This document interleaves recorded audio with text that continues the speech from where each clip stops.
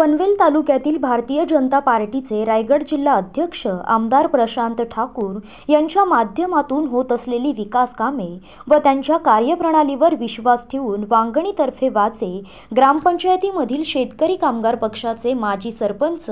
उपसरपंचांसह असंख्य कार्यकर्त्यांनी भारतीय जनता पक्षामध्ये रविवारी जाहीर पक्षप्रवेश केला आहे. यावेळी आमदार प्रशांत ठाकूर यांच्यासह उपस्थित मान्यवरांनी सर्व प्रवेशकर्त्यांचे पक्षाची शाल देऊन पक्षात स्वागत केले.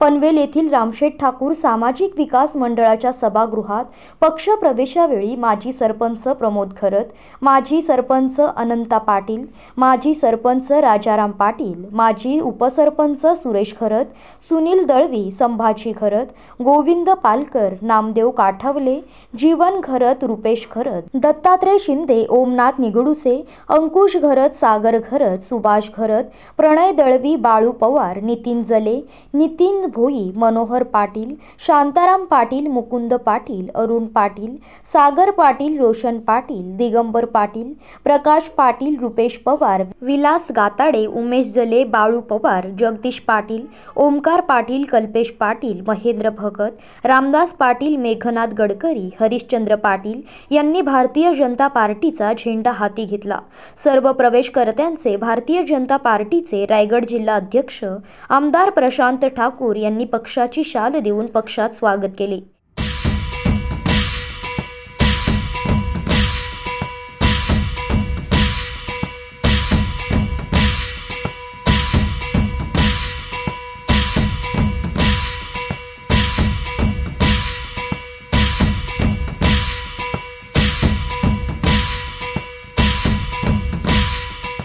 या पक्षप्रवेशावेळी भारतीय जनता पार्टीचे पनवेल तालुका उपाध्यक्ष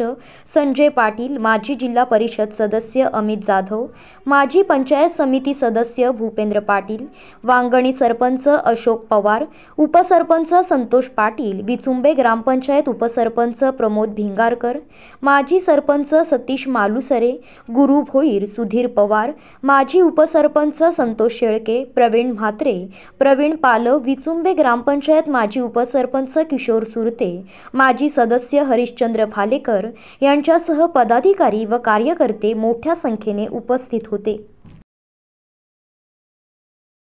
गेले अनेक वर्ष आपल्या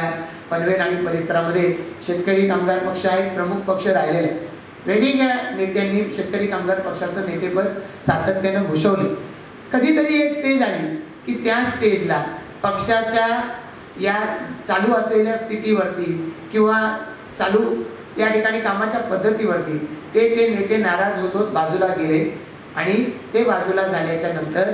हळूहळू शेतकरी कामगार पक्षाची ताकद ही कमी होत गेलेली आहे. आणि आता आपण कर्नाळा बँकेच्या बाबतीमध्ये पाहिलं तर अतिशय शोचनीय परिस्थिती आहे. वीस वर्ष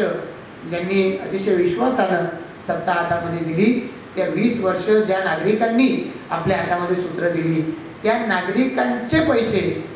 हे अचानकपणानं गायब करणं मला असं वाटतं ते महापाप आहे. पनवेल आणि नवी मुंबईच्या ताज्या घडामोडींसाठी मल्हार टीव्ही न्यूज सबस्क्राईब करा आणि बेल आयकॉन दाबून रहा अपडेट.